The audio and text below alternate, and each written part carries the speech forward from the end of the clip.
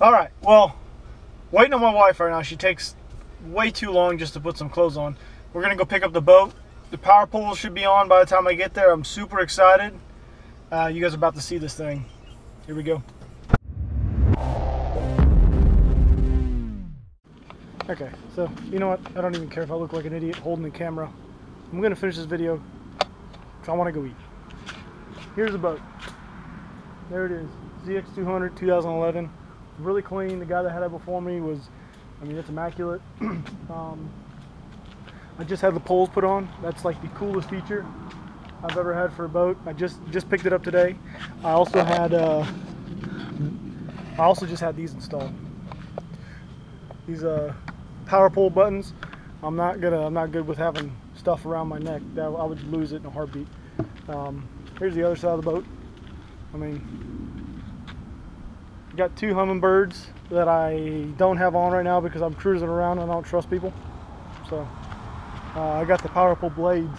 That's the ones I went with. Uh, matches the boat, of course.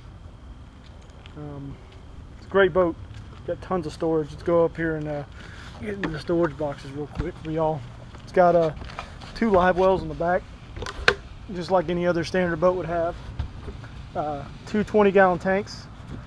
Storage boxes back here, just like any other boat would have. I, I emptied them out, of course, when I, before I took the boat in. Uh, left side of this boat has uh, the rod boxes. Or excuse me, the rod box. Oops. Oh, it's tight. It's it's a tight one. Alright, so that's empty right now. It's got pretty good. You could stick an eight and a half foot rod in there.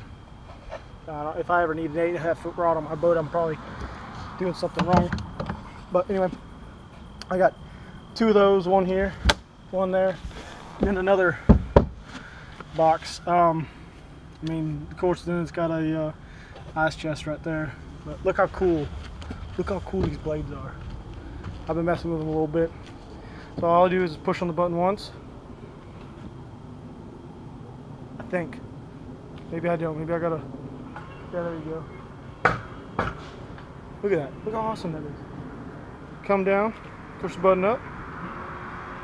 Oh yeah. Way better than having the thing dangling around your neck and having to go and push it. Just go down and step on it. Those only that that those pedals only cost me 70 bucks.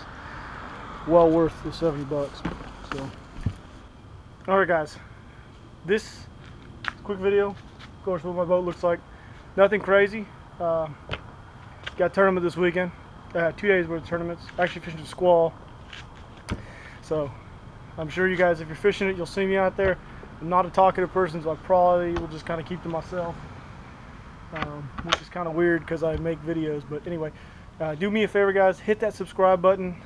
And uh, hopefully we'll catch some big ones this weekend. Until then, see y'all. All right, guys. Today, I'm going to go over, I have the entire suit, the entire Simms uh, Gore-Tex Pro suit.